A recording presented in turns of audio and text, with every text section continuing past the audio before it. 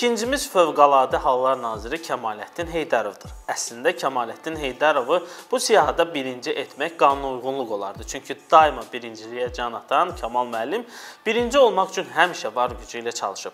Məni şoka salan birincimizin xaricdə nə oyun çıxartdığını biləndən sonra əminəm ki, Kamal müəllimi ikinci etdiyimə görə mənə haqq qazandıracaqsınız. Bildiyiniz kimi İngiltərədə Kəmaləddin Heydərova məxsus çoxsaylı şirkətlər var. Bu şirkətləri oğlanları Nicat və Talih idarə edir. Amma hansısa səbəblərdən Fövqəlanazir son 1-2 il ərzində onların adlarını şirkətlərin rəsmi təsisçiləri sırasından çıxarıb və bununla güya Britaniyadakı biznesinə son qoyduğu görüntüsünü yaratmağa çalışır. Fövqəlanazir bu ölkədəki pullarını uzun illərdən bəri oğlanlarına biznes işlərində kömək etmiş tərəfdaşlarına etibar edib. Böyük ehtimalla cənab Heydərovu bu addımı atmağı vadar edən son vaxtlarda hakimiyyətlə münasibətlərində yaranmış şartlardır. Yəni uzun illər hakimiyyətə sədaqətlə qulluq etmiş Fövqəlanazir artıq ona etibar etmir, günün birində vəzifəsini və Azərbaycandakı iqtisadi imperiyasını itirəcəyini anlayır. Vaxtında xaricdəki biznesini göz qabağından yığışdırmağa üstünlük verib. Kəmaləddin Heydarovun İngiltərədəki biznesinə etibar etdiyi ən sadiq dostu Britaniya vətəndaşı xanım Gillian Ralston Jordandır. Əslində kifayət qədər cazibədar görünən Gillian xanım daha əvvəldən Gilan Holding sahibinin biznesinin böyük qismini öz kölgəsi altına alıb. Hazırda o Talih və Nicat Heydarovların adına olan 5 şirkəti idarə edir. Bloombergin məlumatına görə xanım Jordan 25 ildən çox idarəçilik təcrübəsinə malikdir. Şotlandiya Krallıq Bankının rəhbərinin müavini olmaqla yanaşı, Bermuddakı ofşor şirkətlərinin meneceri olaraq fəaliyyət göstərir.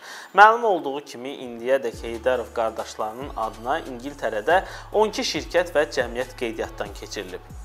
Bunlar Heydərovların üzvdə olan şirkətlərdir. Maliyyə hesabatlarına görə onlardan yalnız Restaurants Limited şirkəti daha ciddi aktivlərə sahibdir.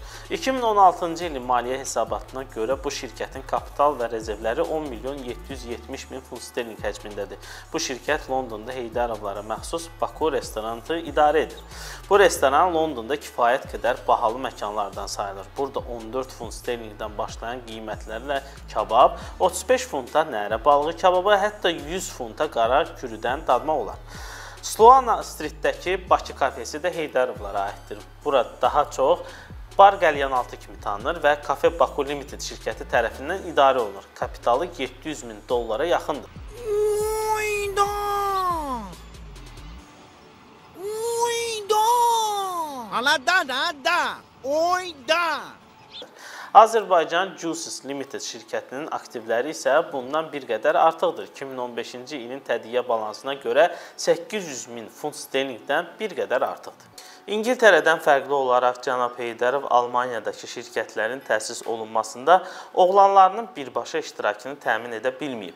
Buna səbəb İngiltərədən fərqli olaraq Almaniyanın xarici kapitalın mənbəyi ilə bağlı məsələyə daha həssas yanaşmasıdır. Bəs Kəmaləddin Heydərov o pulları Almaniyaya necə yatıra bilib?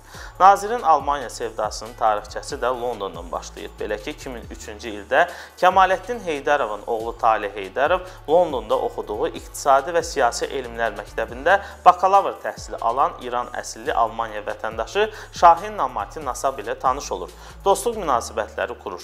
O zaman Kəmaləddin Heydərov Gömrük Komitəsinə rəhbərlik edirdi. 2006-cı ildə atasının Fövqəladə Hallar naziri təyin olunmasının ardınca London Azərbaycan cəmiyyətini yaradan Talih Heydərov Şahin Namati Nasabı da təşkilata cəlb edir. 2008-ci ildən Avropa Azərbaycan Cəmiyyəti adlanan qurumun Almaniya şöbəsi Şahin Namati Nasabı hesaba həvalə edilir. 2010-cu ildə Avropa Azərbaycan Cəmiyyəti Almaniya 25 min avro nizamnamə kapitalı ilə Şahin Namati Nasabın adına qeydiyyatdan keçirilir və Charlottenburg ədliyyəsində şəhadətnamə alır.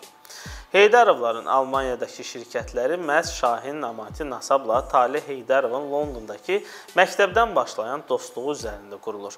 Heydarovların təqdimatı ilə Şahin Namati Nasab Azərbaycan hakimiyyətinin sevimlisinə çevrilir. Azərbaycanın səfirliyi ilə sıx münasibətlər qurur, tədbirlərə dəvət olunur. Qarabağ və Xocalı ilə bağlı tədbirlərdə iştirak edir və 2018-ci ilin iyulunda Qarabağ Collection GmbH adlı moda şirkəti açır. Şahin Namati Nasabın adına rəsmiləşdirilmiş daha bir şirkət Construction Management Supervision şirkətidir. Şirkət 2014-cü il aprelin 6-sında Essen şəhər ədliyyəsində qeydiyyatdan keçirilib. Aktivləri 1,5 milyon avro. 2017-ci il maliyyə hesabatına görə gəlirləri 634 min avro göstərilir. Kəmaləddin Heydarov Almaniyada təsis etdiyi şirkətlərin bir qismini də Şahin Namati Nasabın atası Davud Namati Nasabın adına rəsmiləşdirib.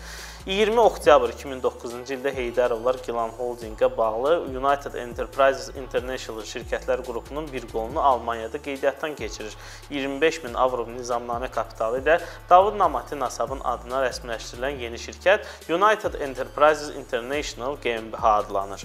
Ötən il oktyabrın 22-sində şirkətin direktoru Davud Namati Nasabın Düsseldorf ədliyyəsinə müraciəti əsasında United Enterprises International GmbH-nın adı dəyişdirilir və Oaktre Enerve GmbH olur. 2017-ci ildə təqdim olunan illik hesabata görə şirkətin aktivləri 990 min avro, ehtiyat sərmayələri isə 1,670 milyon avro təşkil edir. Bu Heydərovların Davud Namati Nasabın adını rəsmiləşdirdikləri yeganə şirkət deyil. United Enterprises International şirkətinin qeydiyyatından cəmi 2 ay sonra, yəni 2009-cu il noyabrın ayının 10-da cəmi bir gün ərzində Heydərovlar Almaniyada daha 3 şirkəti Caspian Sea Caviar GmbH, J GmbH və Juices GmbH-nı qeydiyyatdan keçirirlər. Bundan bir həftə sonra noyabrın 17-sində Heydərovların daha bir şirkəti Azərbaycan Carpets GmbH təsis olunur. Caspian Sea Caviar GmbH şirkəti də Davud Namati Nasabın adına təsis olunur və 2017-ci ilin noyabrın 10-da ləğv edilir. Juice GmbH 22 iyun 2017-ci ildə, J GmbH 4 noyabr 2016-cı ildə, Azərbaycan Carpets GmbH isə 9 noyabr 2017-ci ildə ləğv olunub. Bosniyanın Daboy şəhərində şirə zavodu da Kəmaləddin Heydarova məxsusdur. Bura Yuqoslaviya dağılandan sonra fəaliyyətsiz qalmış köhnə uçuq bir müəssisə olub. Heydarov onu sökdürüb, yenisini tikdirib. Fövqəlnazir Azərbaycanda topladığı sərvətdən burada 40 milyon avro xərcləyib. Kəmaləddin Heydarovun Qızılda, Manqolistanın yaxınlığında Yenisey çayının sahilindəki 4 ulduzlu Yenisey otel kompleksi də var. Otel Fəvqəladə Hallar Nazirinə 40 milyon dollara başa gəlir. Ümumi sahəsi 16 min kvadrat metrdir. Kompleksdə 108 otaq, 2 prezident nömrəsi, 31 apartament kateqoriyalı otaq, 75 studiya otaq, 100 nəfərlik restoran, lobbi, bar, spa, salon, hamam, hovuz var. Fövqəladə Hallar Nazirinə məxsus Benkens şirkətlər qrupu tərəfindən tikilən otel Rusiyanın Azimut Ates şirkətinə icarəyə verilib. Kəmaləddin Heydarovun Latviyanın paytaxtında da 5 ulduzlu oteli var. Riqanın mərkəzi Kalko küçəsi 28 ünvanında yerləşən Roma otelini Fövqəladə Nazir hələ 2013-cü ildə 9 milyon 240 min lata, təxminən 13,1 milyon avroya alıb. Bundan sonra daha bir neçə milyon avro otelin təmirinə və avadanlığına xərcləyib. İndi yanamillər. Yanğını söndürməyə də elə Kəmaləddin əmmimizin yanğın söndürənləri gəlsin. Hə, bura başdan ayağa dəlixanaymış ki. Əli bala, ver gəlsin.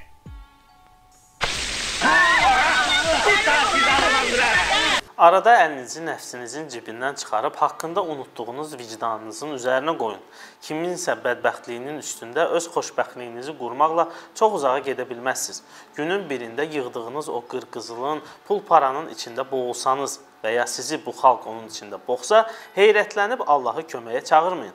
Çünki siz Allahsızlıq edib xalqdan oğurlayanda Tanrı yadınıza düşmürdü. Bir nəfər mollaya sual verir ki, tabutun qabağında gedim yoxsa arxasında? Deyir, harasında gedirsən, get, təki içində getmə. Xalqın pulunu darmadağın edib onun haqqını yeyərək bahalı-bahalı avtolarda gəzənlər bir şeyi başa düşmürlər ki, onlar da, sən də, mən də, elə bu dəqiqə məni çəkən bax bu operator qardaşımız da sonda adi taxtadan hazırlanmış tabutda gedəcək o dünyaya. Sadəcə kimsə rəhmət aparacaq, kimsə lənət. Lənət yox, rəhmət qazanmaq arzusu ilə özünüzə və ara bir güzgüdə gözünüzə yaxşı baxın. Mənim əziz qardaşlarım, siz də bizə arxa durmasaz, bəs onda biz kimə ümid bağlayaq? Bizim daha kimimiz var ki? Əlbəttə, biz istəmirik ki, kimsə gəlib bizim əvəzimizə işləsin, müharibə eləsin. Yox, əlbəttə yox.